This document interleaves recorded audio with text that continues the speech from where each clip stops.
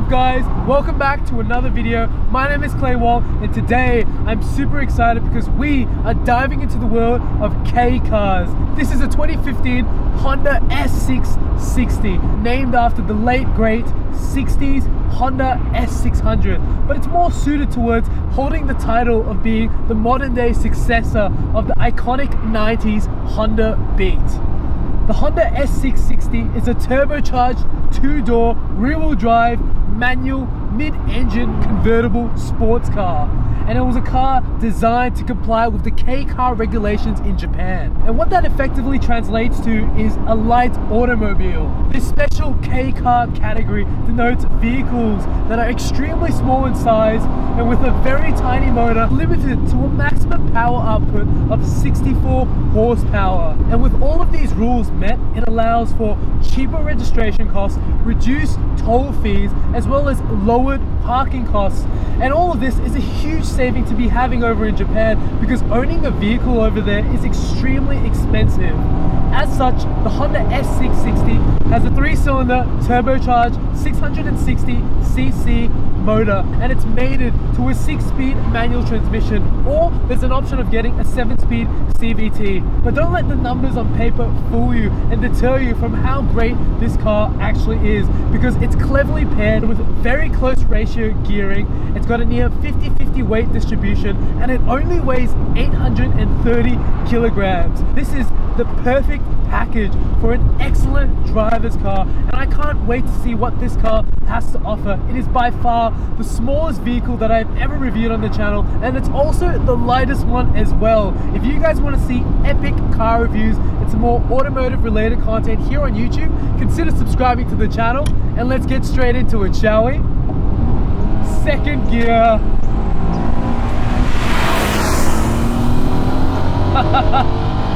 This car just sounds so good when you get on it. They've just made so many tasteful noises when you're behind the wheel of the S660. You know, you don't ever see these K cars out here in Australia. There's not many at all. And to spot a vehicle that's this tiny out here, it's a very rare sight. These cars were never delivered to anywhere else outside of Japan just because of the strict regulations. And in saying so, there's probably only around 10 of these vehicles in the whole country. You can import one anytime, but prices on these vehicles have gone up to tremendous levels because Honda has just announced that they're discontinuing the S660 from their lineup because of the strict laws and regulations over in Japan. They're really pushing cars towards electrification. And so this could honestly mean the end of K cars as a whole. It's a very sad thing to hear for Honda because they only have three existing sports cars in their lineup, that being the S660, the Civic Type R, as well as the Honda NSX. So this could really mark the end for sports cars for Honda forever. If you're looking to pick up an S660 in Australia, you're looking at spending around 25 to $40,000 depending on the condition of the vehicle here in Australia. As soon as you hop into this vehicle, you are welcome to a whole new world and it feels like you're jumping straight into a video game. Everything just feels so surreal because you think about it being just so small in physical size that when you jump in, it's a very big cabin and everything is just so catered around the idea of driving. You've got a lovely D-shaped steering wheel, you're in a fantastic driving position, and all the gauges and the tachometers and the design of everything is just so well suited for the driver. The six-speed manual feels perfect at my fingertips, and it's got that signature Honda gearbox feel that is just so right in this car. You're just so low down to the road, it feels like you're right at one with the tarmac. For a vehicle that's so refined and so modern, there's still a sense of feedback and you're really able to know what this chassis is doing. When you're putting this car hard and 10 tenths on the road, it does feel a little bit unnerving and there's a sense of it being a little bit floaty. I don't really have the most confidence when I'm driving this car flat out, but you have to remember that this vehicle is still a stock standard example. And so there's so much potential to make this car more suited towards a driver's car. Spoon and many different other manufacturers have engineered parts to make it just a little bit better.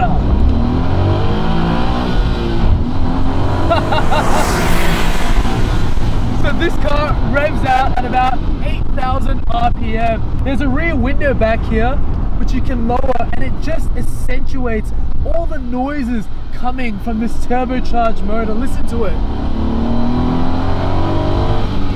the noises are just brought to the forefront and it reminds you that you're in a mid-engine convertible sports car. Honda has specifically designed this car as a pocket rocket and no matter how fast you're going, it enables you to enjoy the thrills of driving the S660 because cars these days have just so much power. This is a vehicle that makes you work for it and it's so enjoyable. It's funny, I've never ever experienced a K car and driving this vehicle makes me appreciate everything that it denotes because it's so small, it's so compact, but it really evokes the idea of driving. If I had to compare this with other cars that I've driven on the channel, it really resembles the ND MX-5 and the Fiat 124 Spider as well as the Honda S2000 thrown in into a package that's just so much smaller than everything else I had ever experienced. You're able to take off this Targa top-like convertible roof and place it into the front. The cabin is an extremely luxurious place to be in. It's got leather throughout the entire cabin, this being the highest spec model being the Alpha. You've got very tasteful seats, you've got carbon fiber trim throughout the interior, you're buying into a vehicle that has luxury thrown in and sprinkled almost everywhere throughout this interior and you couldn't complain about what this cabin has to offer because it really has all the creature comforts you would want in such a tiny little K car. I really like the design of the Honda S660. It still holds true to the iconic Honda Beat from the 90s and as soon as you look at this car you can see it's got that DNA right in the bloodlines of this car. You wouldn't be mistaken from seeing this car a mile away and thinking that you've just spotted an NSX. It's got so much road presence and it looks like a baby NSX. On first inspection of this car, I could not believe just how tiny this vehicle was. I think the best way to describe the sheer size of this car would be to think of a Honda S2000 and think of it being two-thirds the size of that car. It's literally that small.